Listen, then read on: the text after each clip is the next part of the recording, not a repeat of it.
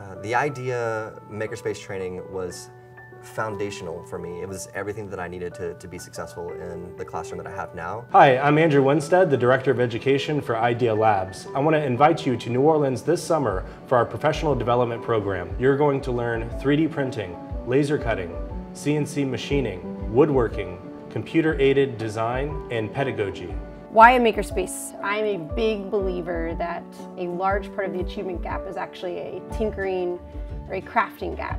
Many of the skills you get from building with Legos and watching it collapse or trying to design something and seeing it fail over and over again, those skills are invaluable. Uh, we learned how to build robots, we learned how to tear up robots. It was amazing. It was really impactful for, for my education. Come to New Orleans this summer for our unique professional development program. Space is limited, so register today. For more information, please visit us at idiyalabs.com.